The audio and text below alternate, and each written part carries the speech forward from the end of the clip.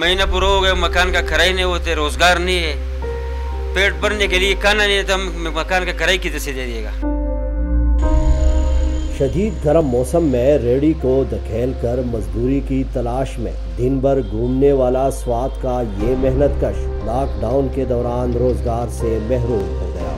ज़फ़र अली का कहना है, वो मुश्किल तरीन हालात में माजूर बच्चों की कफालत से कासिर है।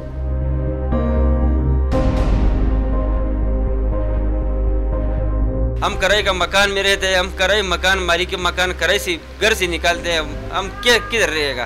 तीन बच्चे हैं हमारा माजूर लेकिन अभी तक हमारे किसी ने फरियाद नहीं सुना है। ज़फ़र अली ने अपने हालात बदलने के लिए हुकूमत से अपील की है। वजी अला को ये दरख्वास्त हम देते हैं कोई ऐसा नौकरी दे दो कि मैं अपना माजूर बच्चों के लिए पेट बांधने के लिए कुछ न कुछ तो करेगा। गरीब मेहनत कश ने बैतुलमाल से भी माली इमदाद न मिलने का शिकवा किया है। लॉकडाउन से ज़रिए माश खत्म हुआ तो घर में फाकों ने डेरे डाल दिए। रेडी चलाकर घर का चूल्हा जलाने वाला मेहनत कश बाप, तीन माजूर बच्चों की कफालत के लिए किसी मसीहा का मुंतजर है। कैमरामैन परजंद अली के साथ सैद शहाबुद्दीन समा स्वाद